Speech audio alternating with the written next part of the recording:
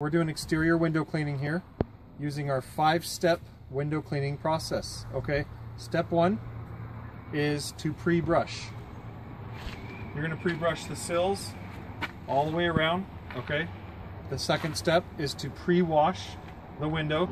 Step three is spot removal. Step four is to squeegee the window. And then step five is to detail the window. All right, so step one is pre-brushing the window. That does involve removing the screen um, if there is a screen on the window. So I'm going to find where the springs are on the screen, okay? You can feel that they're right there. I'm then going to heighten the window. I'm going to push on the spring into the window using my thumb and my tool extractor here, my screen extractor. I'm then going to use that to get it inside the window frame and pop it out. I'm then going to use my other thumb to push in and use my finger here to leverage the window, the screen, window screen out, okay? I'm going to put that down.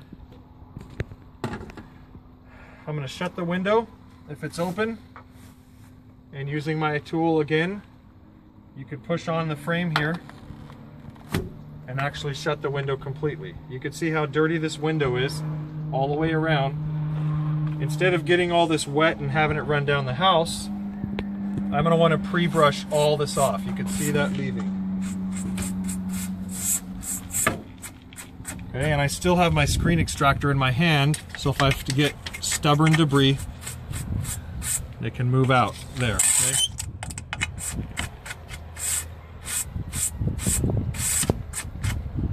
I'm then going to do the sills. Put my tool away there. I'm to brush all the sills. Getting as much debris off as I can.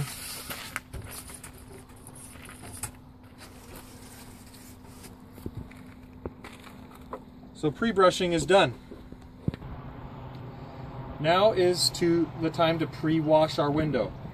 Um, in the former stages I didn't mention, always have your bucket on you, okay? Always have it on you and have a mini bottle of Dawn dish soap in the bucket. Not a giant bottle of dish soap, okay? And not a thimble size. This size, small Dawn dish soap bottle. Always carry your bucket with you on exterior window cleaning, okay? So that you always have a lot of water on your mop here. So now I'm going to pre-wash the window, okay?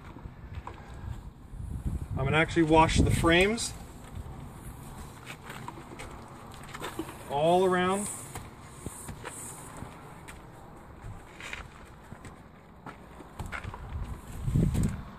Wash the whole thing.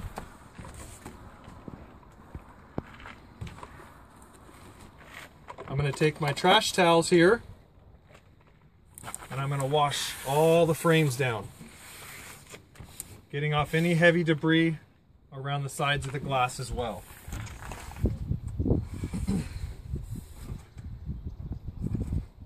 See now I'm washing, wiping the sills out and I don't have much debris because I pre-brushed this debris off, okay?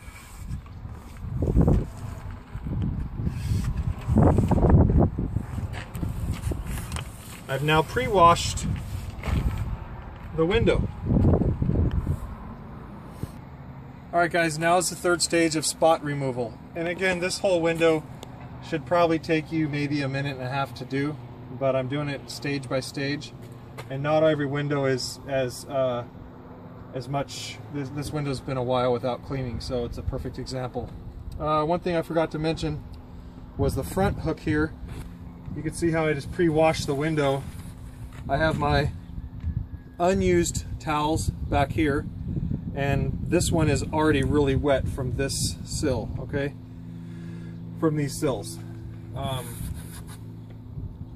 you can see how it's really dirty already.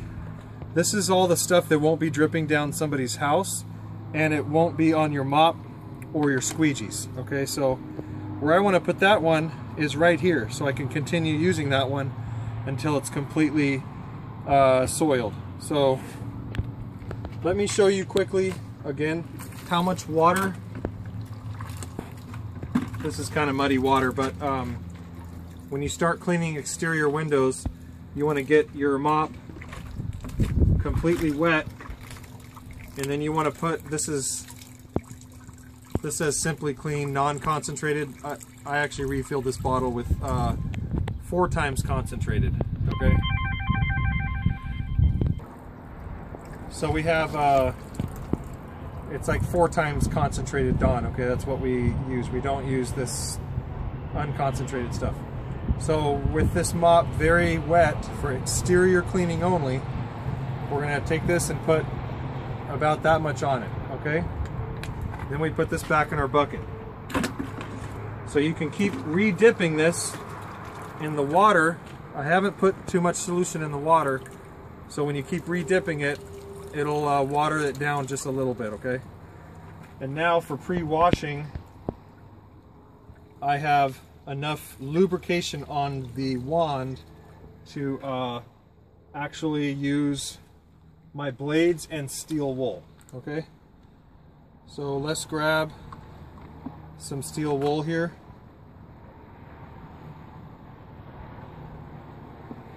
And so what I'm going to do now is wet this and then I'm just going to steel wool this entire piece of glass, okay? Now notice over here, you don't have as much bug spots.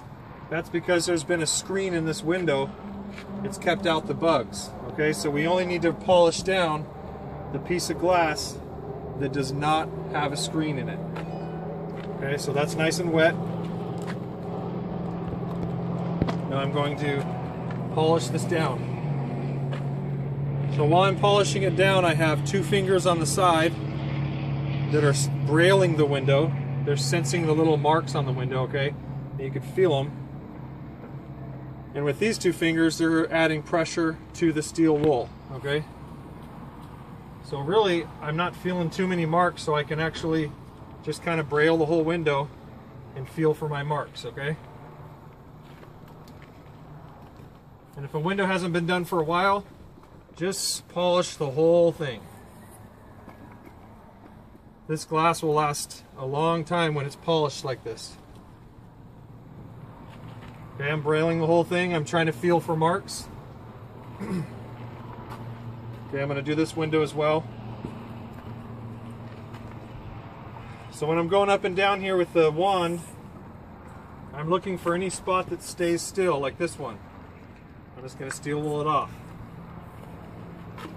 Okay, quick rail of the glass. I feel a mark up here.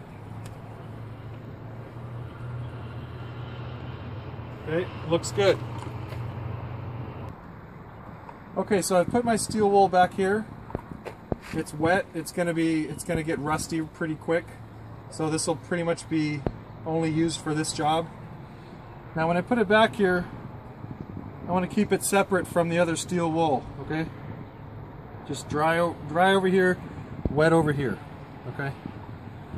And a reminder: we all only use 4-0 steel wool on windows, okay? So don't go out and buy your own steel wool. Use the stuff I give you. okay, now it's time to clean the window, okay? See, that's a clean piece of glass right there. It's like cleaning a bathroom mirror. It's so it's so polished and ready for cleaning. There's not any obstructions. There's no dirt on the edges. I could just wet it and all you have on the window now is Dawn dish soap and water, okay? So now I'm going to get my towel out and whatever size squeegee fits the window, I'm going to pre-rag the edges and then I'm just going to extract.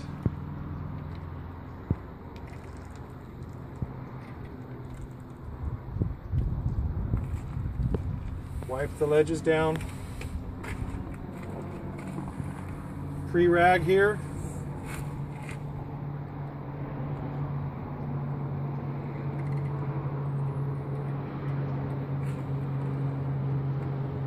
I'm to wipe my blade down just to keep keep the life of it better. Wipe down any remaining stuff. Now this is a metal shed here, but if you had stucco on this wall and these things were dripping down, you would see marks. So what I would do is, uh, if I had water in my squirty bottle, what you can actually do is if it starts leaking down and there's dirt leaking down, you just take your squirty bottle and you just spray it down like that. And then that'll, that'll uh, turn out pretty clean. So I have washed the window. The final step, step five, is to detail the window. Uh, I could use one to two of these rags for an entire job because as you can see, there's nothing on this glass now. There's, I believe I left a little Nike swoosh mark here. Um, I could wipe that down if it doesn't leave lint. If it leaves lint, you may want to use a smaller blade and uh, redo it there. I'll show you that in a minute. So now you're just going to rag any marks that you actually left. It's important to remember that if you've pre-ragged the window, you're really not going to have anything to detail, barely any, okay? And as your skill progresses, you'll get you'll get better and better at it.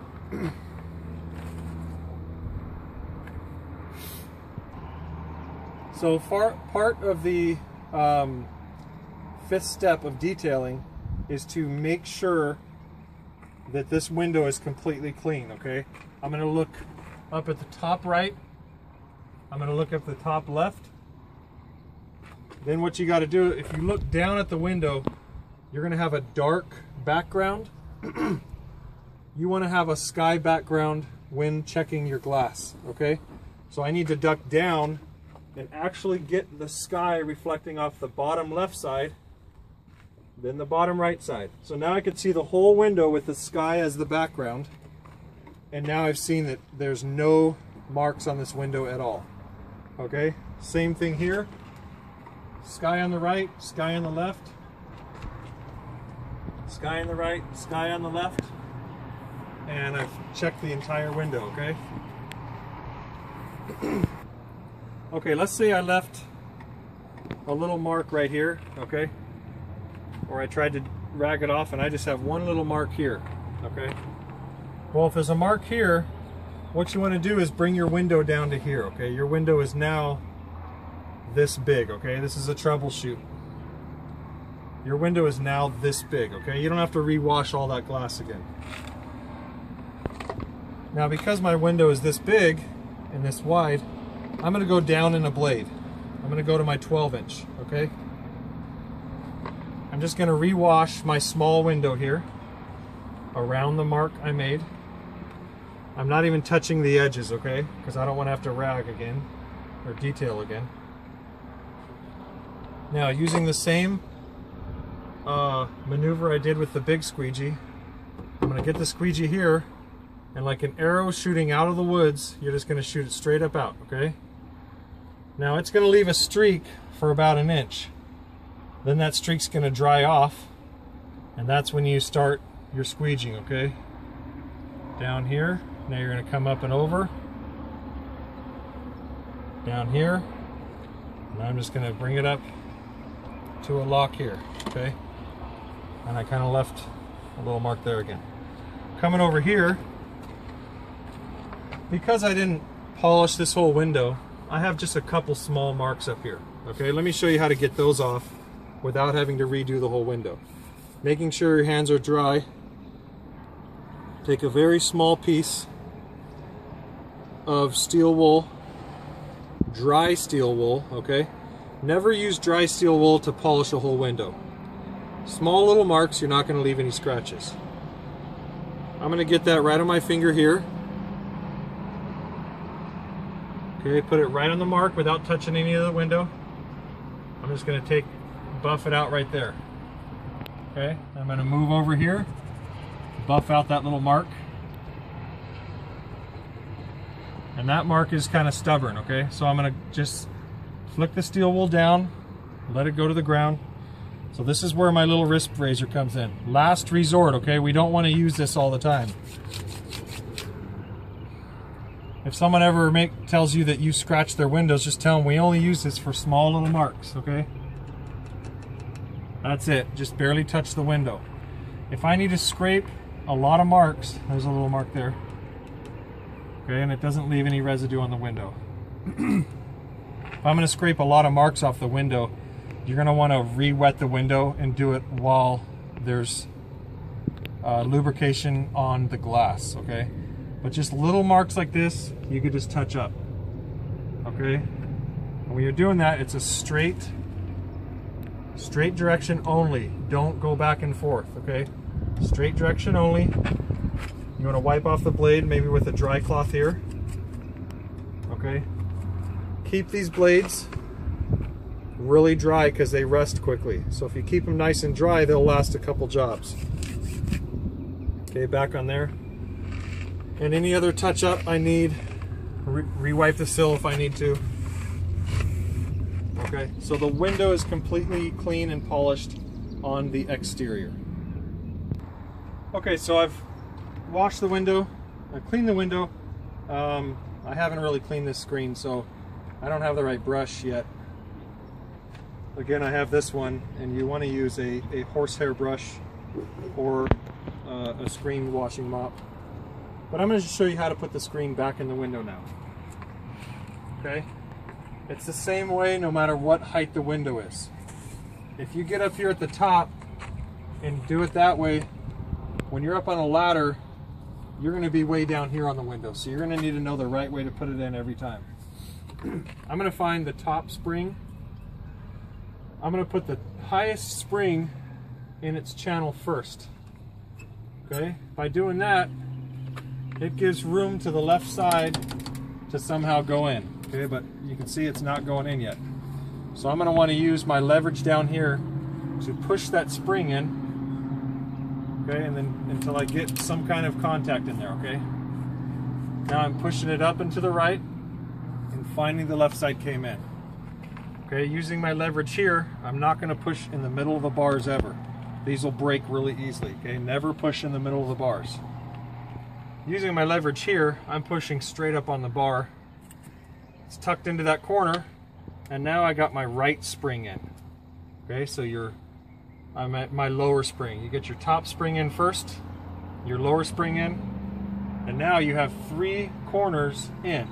All you're left with is this one, okay? So you could be way down here. You're just gonna wanna push that one in.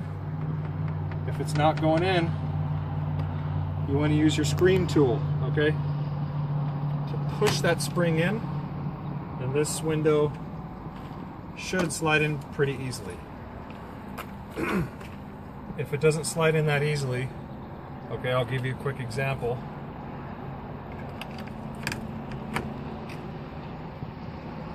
I'm going to push this in with the screen tool, then I'm going to take my thumb and hold it in place. Then I'm going to take it over here and I'm going to leverage it in with my screen tool again, okay? It's actually gripping on the bottom. So leverage it in with your screen tool. If you have a bottom sill that's gripping it, press up on the top and uh, I'm sure you'll be able to figure it out. So in a reminder again, we use this paint can opener. Um, I got a newer one here. You can see how it has a pretty nice edge to it okay? Uh, most, a lot of guys use um, either spatulas or screwdrivers. We use these because they're curved, okay? So you have control. If I'm trying to take this screen out and it pops off and goes like this, it's going to be rounded so it has less possibility of damaging the screen. The other thing is, is it almost eliminates your possibility of damaging of even popping off because it has such a nice grip on the back, okay? So I grip the back of the screen now. Now I just pull out. And if for some see, for some reason it grips off, it just swings back to me.